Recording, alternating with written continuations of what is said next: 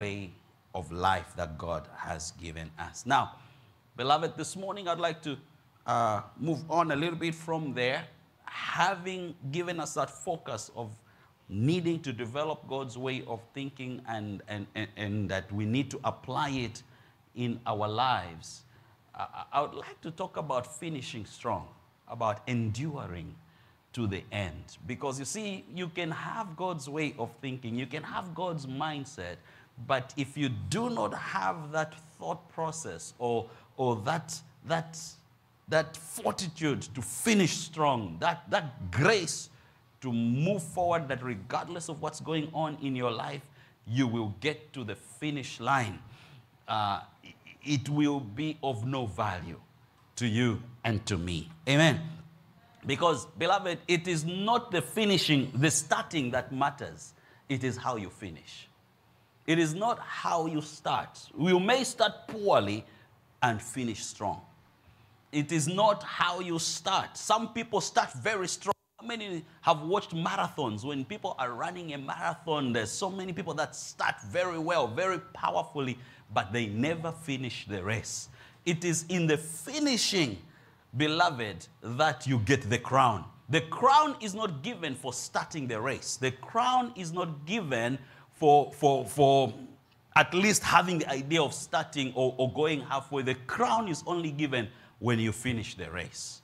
So, uh, as much as we can talk about living the kingdom life, as much as we can talk about having the mindset of God, we also need to have that mindset that we will finish the race, that we will finish this game of life you know, especially in seasons like this, the seasons of pandemics and things like that. These are what we call trials and tribulations and challenges.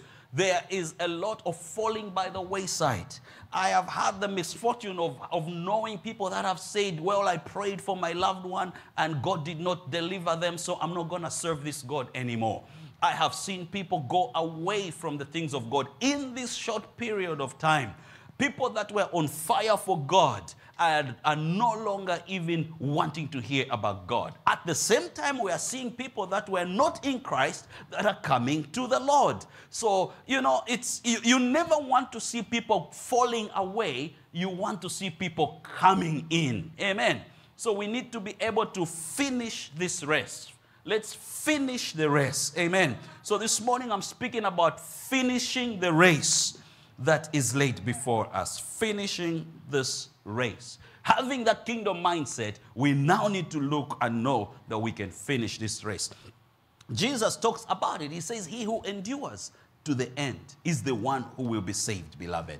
It is not in the starting, but in the finishing. Look at, uh, uh, uh we'll, we'll, look at a few scriptures this morning as we talk about finishing uh, strong. Look at uh, Mark. We can begin reading from Mark in Mark chapter number 13.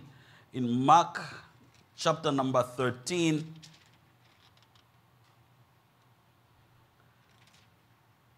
Mark chapter number 13, and, uh, and uh, uh, actually, let's look at Matthew 24. Matthew chapter number 24.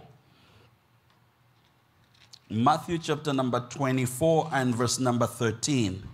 Matthew 24 and verse number 13. Let's look at, let's start from verse 12.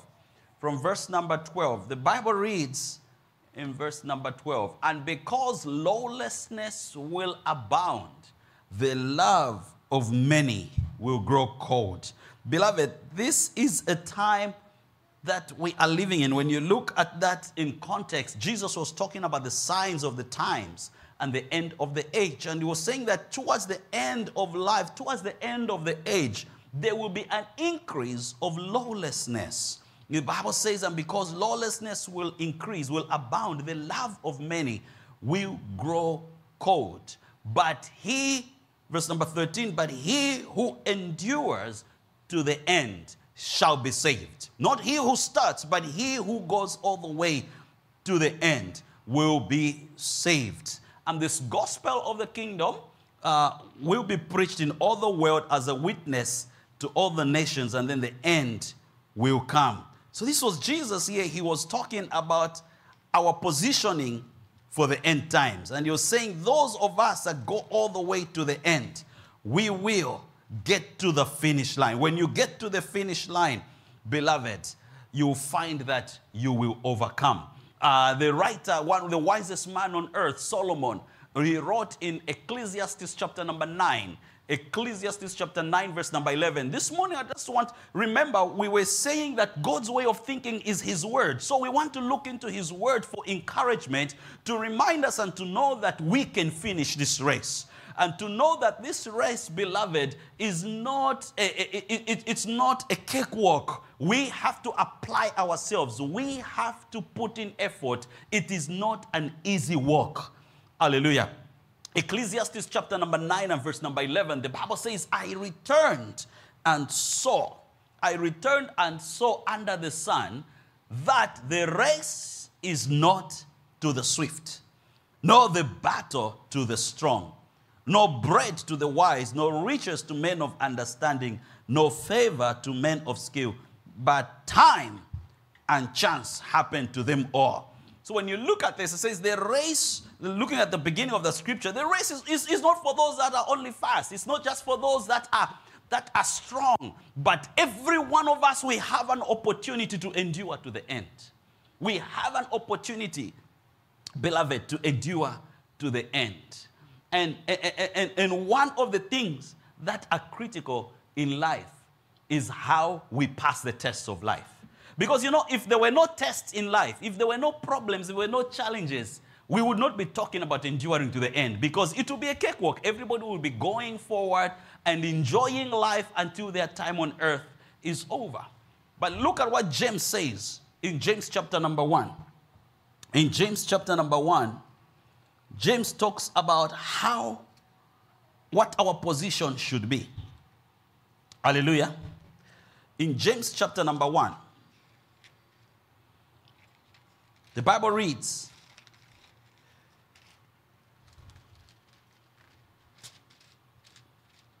me get there. In James chapter number 1, and uh, if you look at uh, verse number 12, verse number 12, the Bible says, first let's look at uh, verse number 2 and 3. We'll look for at James chapter 1, verse 2 to 4, and then we'll jump to verse number 12. The Bible reads, My brethren, count it all joy when you fall into various trials. Knowing that the testing of your faith produces patience. But let patience have its perfect work, that you may be perfect and complete, lacking nothing. Verse number 12 Blessed is the man who endures temptation, for when he has been approved, he will receive the crown of life which the Lord has promised to those who love him. You see, endurance, beloved, has an end result. Endurance has an end result. I'm reminded of a man in scripture when you look at Job, when you look at the story of Job. Job was a man who had everything. Job was a man who could overcome because he had wealth. You're looking for wealth, he had it. You're looking for friends, he had friends. You're looking for, there was nothing that you and I uh, uh are looking for that Job lacked. Job had no luck. But look at the challenges that he went through. Look at the challenges and the problems that he went through. He lost everything. I relate Job and I look at the pandemic today. I look at how we are, many of us, our lives when we started, we were all set for this year 2020. We were all set in how we were living our life. We had jobs, we had plans, business was roaring, vacation time was planned, the bank was enjoying our money. And then the pandemic hit. Most people, lost, a lot of people lost employment. Jobs were lost. Suddenly, lives were upended. Challenges in the homes.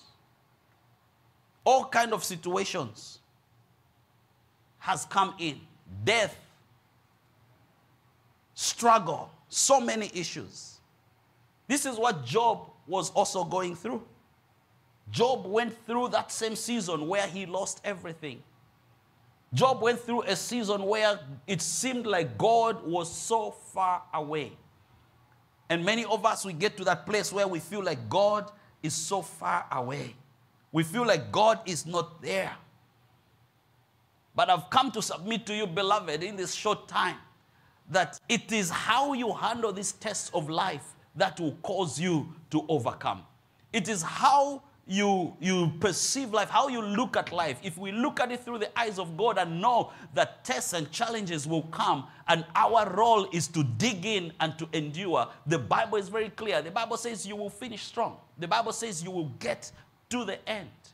You see, many of us, we, we, we, we, we, we, we complain, we, we, we, we look at how things are and say, why has this happened? Why should this happen to me? Why me? Why in the season? This was my year of victory. This was my year of doing this and that. God, you are so unfair. I just started a new job and now I have lost my job. I just started a new business. I just sunk in all my money into this business and now my business is shutting down because of the pandemic. I had just become a new believer in the Lord and now look at God what you have done. You have taken away my loved ones. You have taken away my means and sources of joy.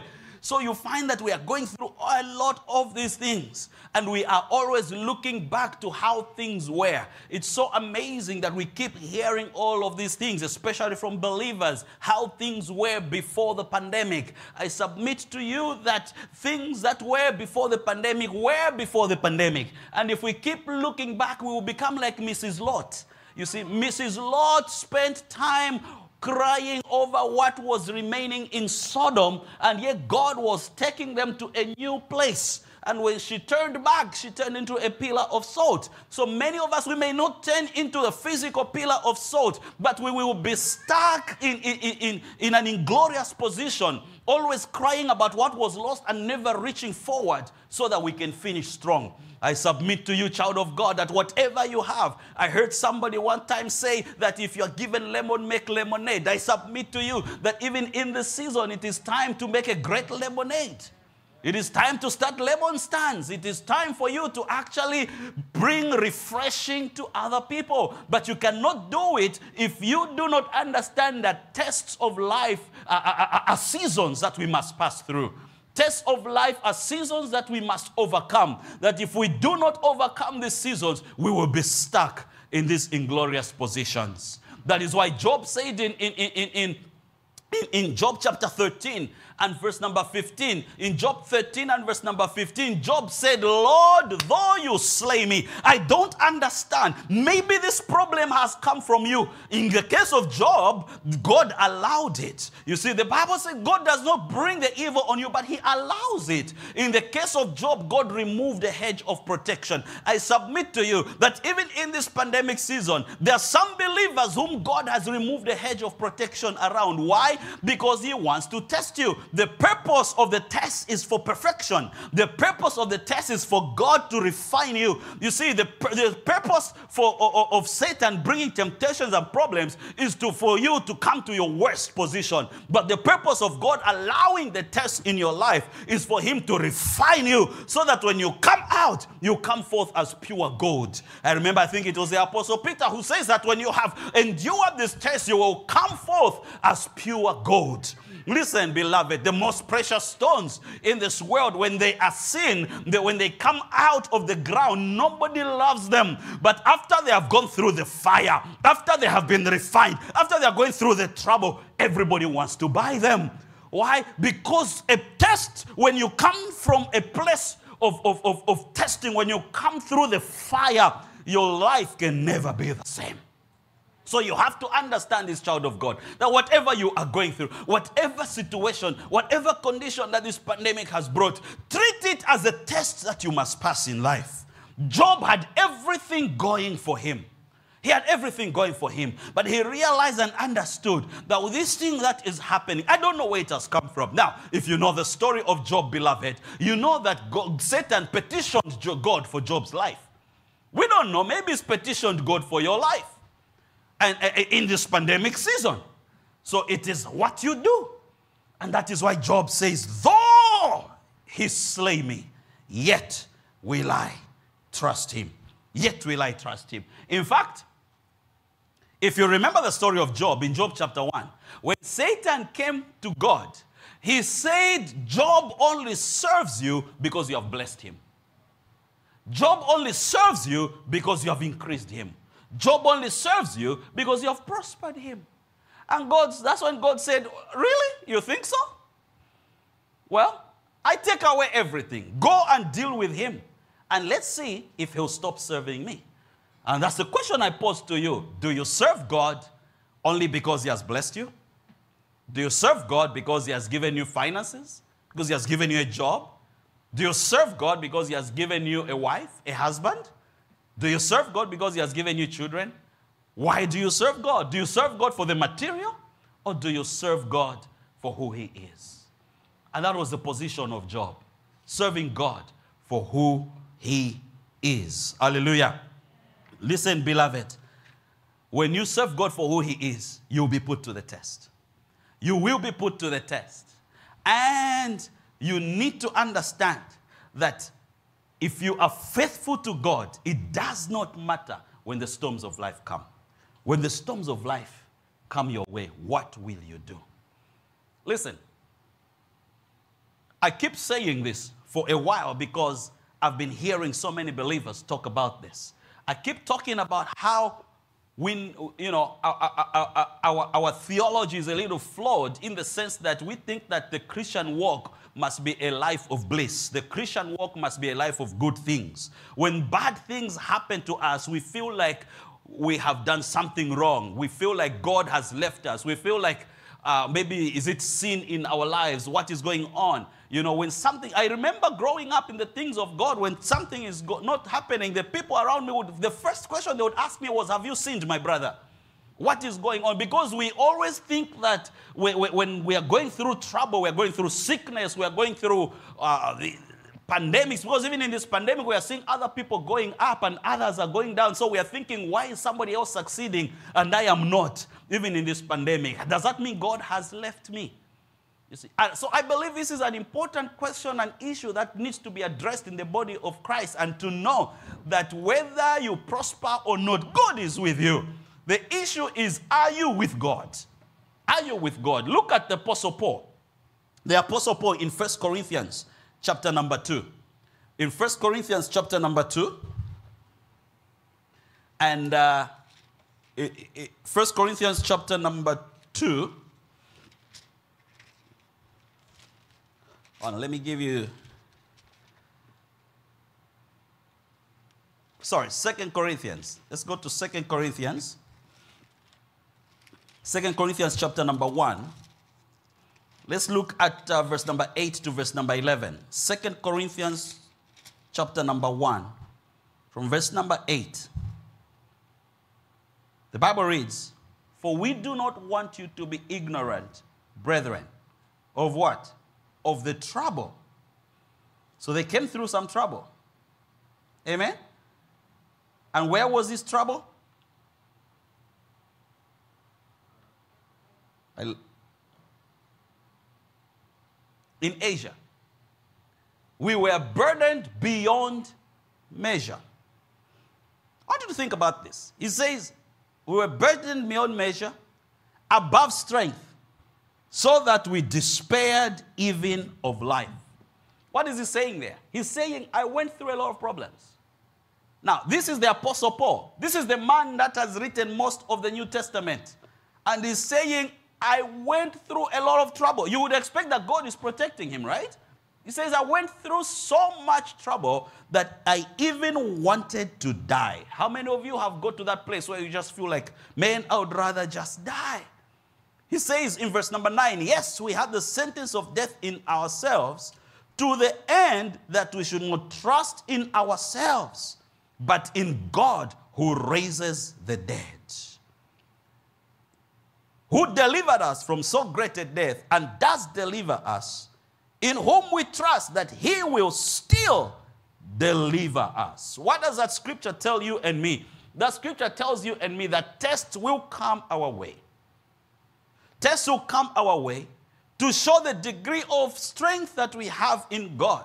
Now, tests come to tell you and I that we cannot rely on man. You see how Paul, I love the scripture in, uh, in uh, verse, number, verse number 9. The Bible says that the troubles that we went through, the problems and issues that we encountered were such that God could not help us. I mean, rather, man could not help us. We got to the place where we can only trust in God. And why was he saying, but in God who raises the dead? He was saying, if God can raise the dead, he can help me in my situation. Amen. God can help me in my situation. Beloved, Paul went through such a rough time.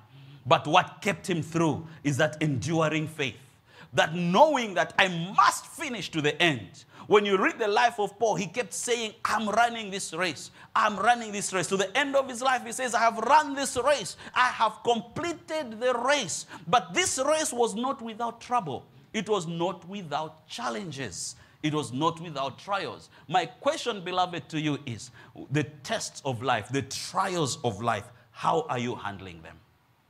Are you handling them in such a way that you can finish strong? Are you handling them in such a way that God will be well pleased with you? How are you handling the trials of life in your life? We are in this season, and whatever we are going through in this season, beloved, God is in control. Whatever we are going through, God is in control. Hallelujah. God is in control. And I submit to you that whatever you and I go through, there is nothing impossible in God. When we look at the trials and the challenges we see, we'll find that restoration is always the end result of passing the test. We read a scripture that says that when you endure, you receive the crown of life. God will deliver you and I out of every trial in Second Corinthians chapter 1, Paul says that God delivered us from so great a death, past tense, and does deliver us, present tense, and trust Him that He will still deliver us, future tense. So God is a God of deliverance in the past, He's a God of deliverance in the present, and He's a God of deliverance in the future. Whatever you are going you see, when we are going through things of life, when we are going through the challenges of life, it looks like there is no hope. It looks like whatever we are going through, there is nothing that can change. But I, I, I submit to you, when we look at scripture, when we look at examples in the Bible, look at Joseph. Whoever thought Joseph would become the second in command in Egypt? Think about that. Look at the troubles he went through being in the pit, becoming a slave in Egypt, becoming a prisoner. It didn't look like his life would change. 13 good years of suffering before there was a manifestation of his life, in his life. But what is it that kept him through? One little word, beloved, called integrity. One little word called integrity. Trusting in God no matter what comes your way. I believe that even in this pandemic season, your integrity will carry you through. What is integrity, beloved? Whatever you say is who you are. Do you say you're a Christian? Then be the Christian you need to be. You say you're a child of God? Be the child of God you need to be. What does that mean? Having the kingdom mindset means that whatever God says in His word, I will follow. It may not be comfortable for me, but I will follow it. In fact, what delivered Job was what? His integrity. In fact, that's what God said about Satan. To Satan, he says, Have you considered my servant Job? Job is a man of integrity. I'll take everything away, but I know that his integrity is what will keep him. In fact, his wife even came and told him, Curse God and die. Why do you still hold on to your integrity? Why? Because, beloved, when everything you have is lost, it is your integrity that will keep you. If you do not have integrity, it doesn't matter what you have, it doesn't matter who you are, it doesn't matter what you can achieve. Before God, you are nothing. Child of God, hear me and hear me well. If you're going to finish this race, begin to search your heart. Where is your integrity level? Are you good for your word? Are you good for who you say you are? And I'm speaking here from the Christian perspective and from your daily life perspective. You know how sometimes you can tell somebody, My sister, I'll come and visit you tomorrow. And she'll look at you and laugh and say, Ah, he told you he's coming. Why are you even cooking? Why? Because the man has no integrity. When he says, I'll come to your house tomorrow, it's a hit or miss. There's no integrity there. Haven't you met people like that? They tell you, I love you, but what they do is very different. There's no integrity. Integrity is what I say is who I am. To my pain, to my hurt. In fact, Paul, I think David said that. He says, I, I, helped my friends even though it was to my own hurt. I helped my friends. But when it came for their turn, all they did was insult me and throw me under the bus. So, in the midst of these challenges that we are going through, people are looking for the Christian to help them through. You are not going to say, Well, you see, I am also going through my issues. I am also going through this and that. Your integrity is set in the Word of God. Having that kingdom mindset will cause you to have integrity in life. When you have integrity in life, people will trust you. When you have integrity in life, people will look to you and will count on you. When you say, I am not able, they will trust you. When you say, I'm going through this, they will trust you. Why? Because you're a man or a woman of integrity. Hallelujah.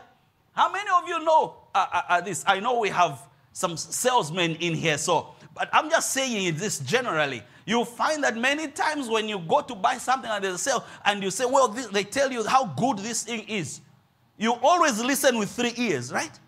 Because you're not sure. Are, are, they really saying this? Are they really saying this? Let me tell you. You know, you know these things happen. Why? But have you noticed that when you're trying to buy something and you're asking for second opinion, usually somebody will tell you and say, Can you go to so and so? Why? Because what they sold them performed exactly as it said. They even told them, look, this thing has some minor blemishes, but uh, it still works well. And that is how salespeople get repeat business. Why? Because integrity is key. It's the same thing with the body of Christ, with the child of God, with the believer. Beloved, I would have you understand that if you're going to finish strong, you need to endure to the end. If you're going to finish strong, you need to develop endurance. And how do we develop this? Number one, we need to understand that tests are part of life. The things we are going through right now in this pandemic, God has allowed this pandemic to happen, but we need to look at this as part of the tests of life. And because it's part of the test of life, we need to understand that we must pass the test. If we don't pass the test, we will not walk in the crown of life. Trust me, pandemic is temporary. It may last a year, may last two years, may last three years, it may last nine months. Regardless, it is temporary.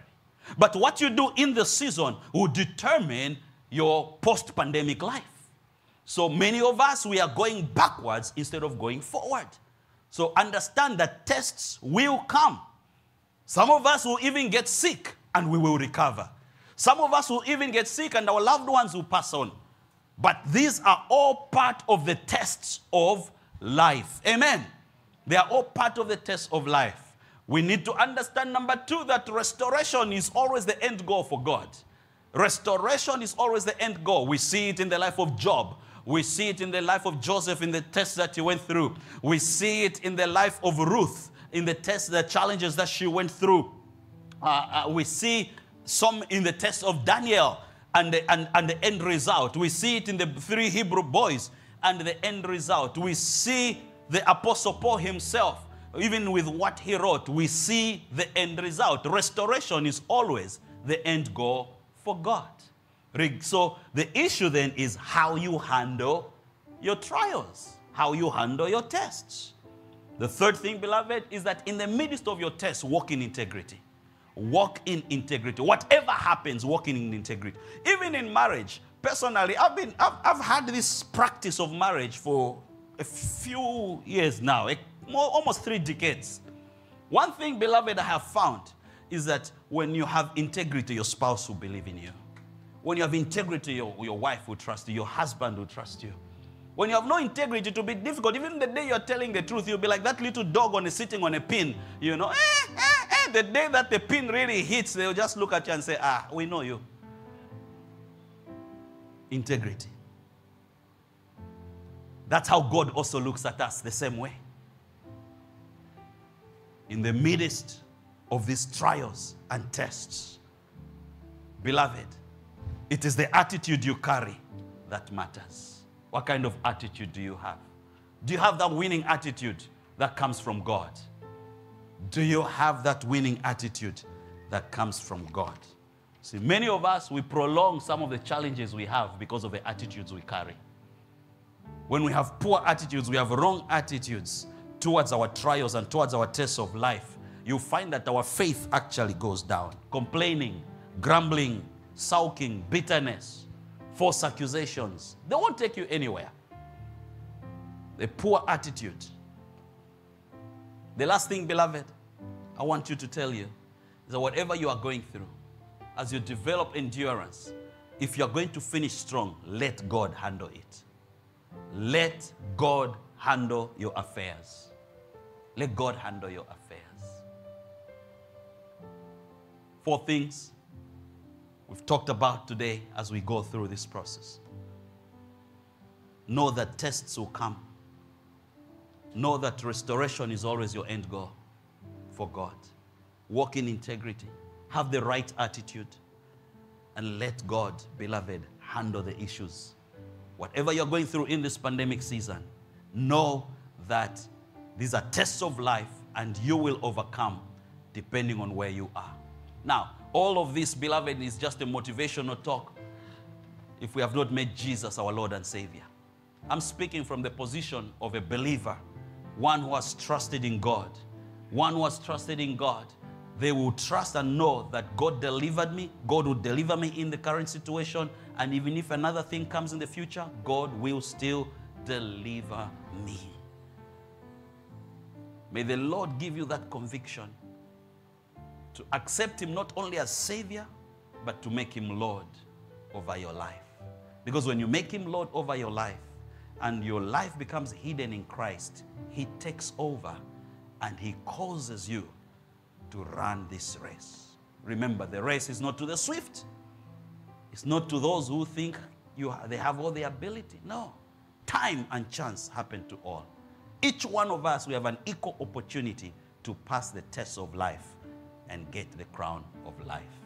May God bless you. Amen.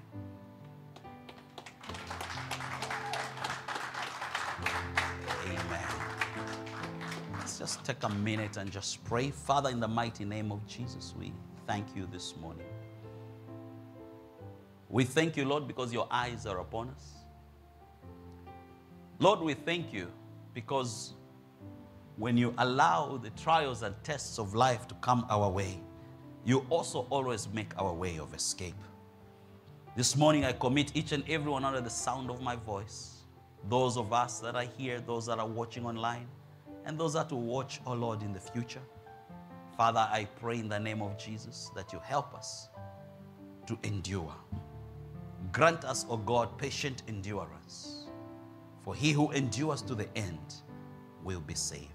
I pray, Lord God, that you strengthen us, strengthen our resolve, and cause us to keep our eyes focused on you, even as we go through life day by day, even in this season. To the end, of God, that we may be established in you, in Jesus' mighty name. Father, I commit this week into your hands. Go before us and direct our steps and lead us in the way that we should go. Even, O oh God, as we continue to develop a kingdom mindset. In Jesus' name, Amen.